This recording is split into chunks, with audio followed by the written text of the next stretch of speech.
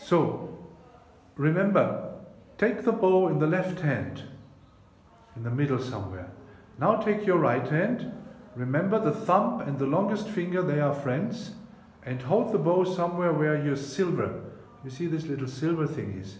Yes, like this. Okay, now leave, release the left hand and you have the bow as it should be. Now you can turn it a bit, go up and down with it, turn it round, play a bit with it. Okay, so this is the position. And maybe remember our spider exercise you can also do. Yes.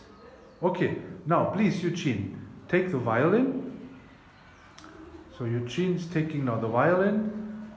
Remember, left shoulder, your hand is in rest position here. You can put it there. Okay? Now take the bow and we start with the E string. Yeah?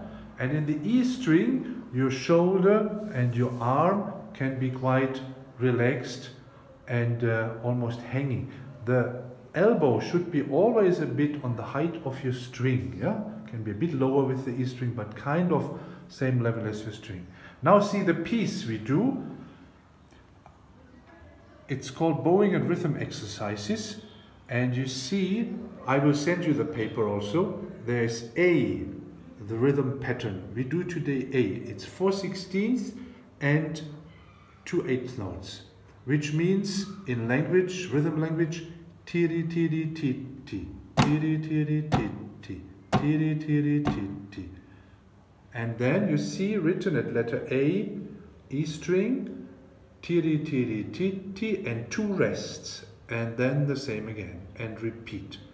Now Eugene will show you this.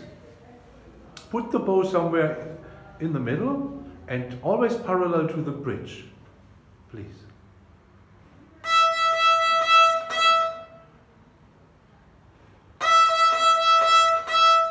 Repeat. I repeat. Now we do the same on the A string. Elbow has to be a bit more up for this.